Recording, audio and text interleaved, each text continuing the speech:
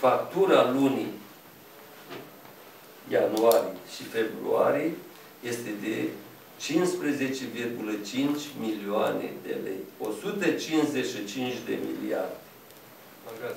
la gaze. În condițiile în care factura lunii ianuarie trebuia plătită până la data de 1 martie. Am fost zilele acestea la uh, Gaz de France, le-am promis și am făcut o eșalonare a sumelor ce urmează să le plătim, dar, în schimb, din factura lunii ianuarie suntem aproape la jumătatea, la jumătatea, chiar la jumătatea lunii, nu s-a plătit nici 100 de mii de lei până la ora asta, De către populație. de către populație. Nu se poate. Este o sumă extraordinar de mare. Nu știu cum vom face și cum vom rezolva.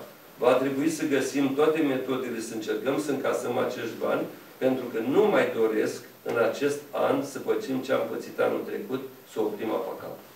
Există acest risc?